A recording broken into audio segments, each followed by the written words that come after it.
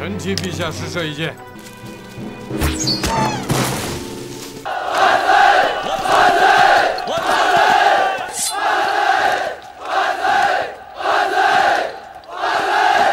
丞相神社真是了不起啊！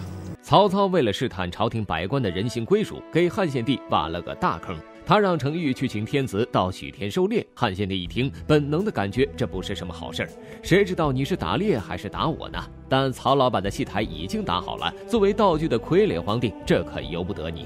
曹丞相不但请陛下出猎，还令朝廷大臣、三军将士随驾，他们都盼望着跟随陛下行猎啊。至于陛下所说的龙体欠安嘛，臣敢请陛下三思。曹操骑着高头大马与天子并驾齐驱，后面跟着十万之众与天子列于许田。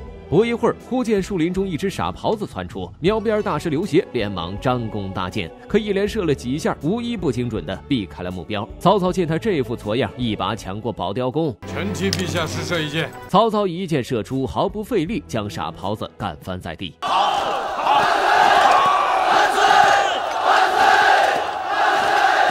荀彧从一片欢呼声中回过了神儿，咱丞相这是严重的僭越呀！关羽气得满脸通红，噌的拔出宝剑，若不是刘备眼神制止，当场就要手刃曹贼。刘协怒火中烧，却也无可奈何。臣奉还陛下的宝雕弓，还请留着用吧。谢陛下赐弓。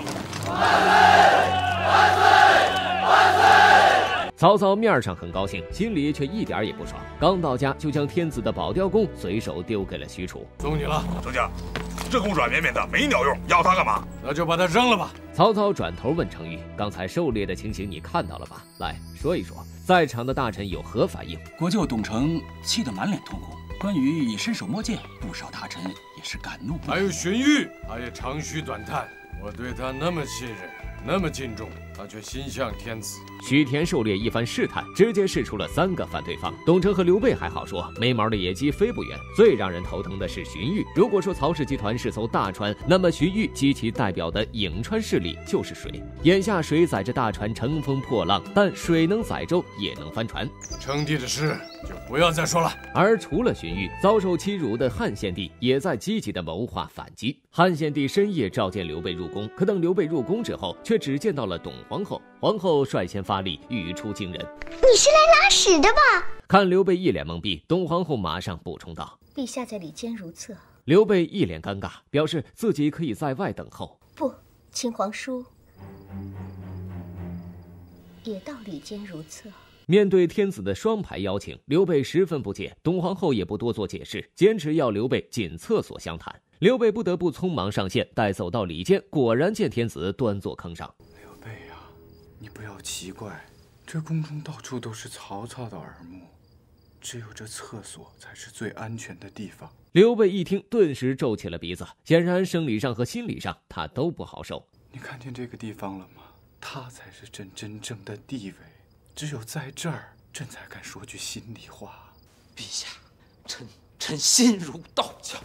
献帝屁股也没擦，提起裤子缓缓起身，然后又是一屁股坐到刘备面前。刘备也只能继续愿闻其详。献帝红着眼叙述着自己的傀儡的一生：从继位起被董卓蹂躏，后来又被李傕、郭汜来回拉扯，好不容易在国舅董承的帮助下逃离狼窝，没想到又被曹操接进了虎穴。虽然曹操在物质上从来没有亏待过自己，但是他独霸朝政，当朕的家，做朕的主，把朕关在这个金丝笼里。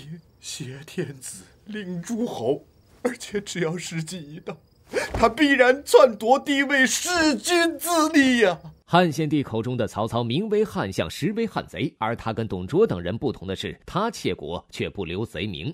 曹贼窃国，比董卓高明千百倍。昨日行猎已足见一斑呢。刘备此刻已经泣不成声，他上前拥住汉献帝，咬着牙，流着泪，请陛下。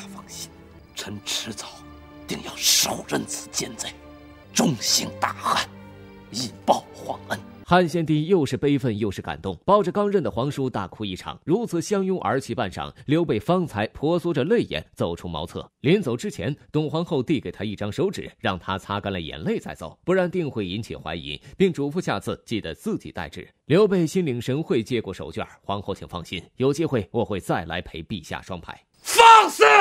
胆敢搜我的身，我砍你的头！汉献帝深夜传唤刘备至深宫如厕，两人互闻其详之后，辣得眼睛泪流不止。刘备匆匆离去，可刚走到门口，就遇到了曹操的巡逻大队。外官深夜出宫，一律必须搜身。如果不搜身，丞相也一样会砍了我的头。这是军令。请皇叔体谅。刘备冷静下来，为不引起怀疑，还是答应了搜身。一番摸索之后，士兵们一无所获。那么问题来了，刘备将皇后给的手指藏在哪儿了呢？刘备走后，汉献帝咬破手指，用鲜血拟写了一份天子诏书，并封于玉带之中，准备托付给一位忠臣，让他联络天下英雄，举兵讨贼。这位忠臣可靠吗？可靠。谁？你的父亲。为了将玉带偷交给董承，刘杰借口祭拜先祖，并将玉带留在了自己的垫子上。董承立刻心领神会，拿起玉带一打量，我去，这做工比我手腕上的大金表还要精致。于是赶紧系在腰间，哪想半道被曹操撞到，赶紧国舅把它解下来，让我细细的观赏。董承面无怯色，果断将玉带递给曹操。曹操上下一番检查，并没有发现端倪。又见董承一副无求所谓的样子，于是便又还了回去。凭借高超的演技，董承躲过了曹操的耳目，只身来到了刘备身边。曹贼欺君压父，荼毒天下，祸乱朝纲，岂能奈国之重臣当年列祖创业之艰难，集结朝廷内外。臣义士起兵剿灭奸党，复兴大汉。刘备一边听着董承的口播，一边看着手中的血书，一时气血翻涌，热泪盈眶。因为这不仅是一部天子诏书，更是自己以后号令天下的大旗。高祖在上，皇孙刘备奉诏。另一边，曹操似乎也看出了一些猫腻儿。这日，刘备正在家中种菜抱金币，忽然许褚、张辽提着大刀到访，刘备吓尿了，紧急补了个妆。二位将军何故到此？丞相有令，请你立刻就去。那请二位稍后容我更衣。丞相只说让你立刻就去，可没说让你更衣。行。不容刘备有所准备，许褚便押着刘备来到丞相府。刚入门，就看到一具新鲜的尸体被抬出。刘备忐忑不安地进入内院。曹操等待许久，开口就是一句“王炸”。你在家做了一件好大的事，以为我不知道吗？不知丞相所指何事？种菜。